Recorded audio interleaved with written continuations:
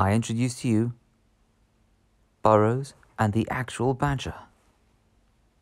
Painted for the game, Burrows and Badgers. So I was trying to follow the principle that if I went wild, highlighting and painting, these would take forever to do. Um, and so he, so the actual folds of clothes are only three, sometimes four layers of highlighting.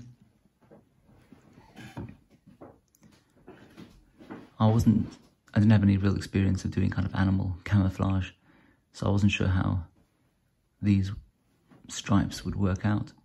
But actually, if you just followed the images, the paintings you found online, it works out just fine. Aww. Don't you think?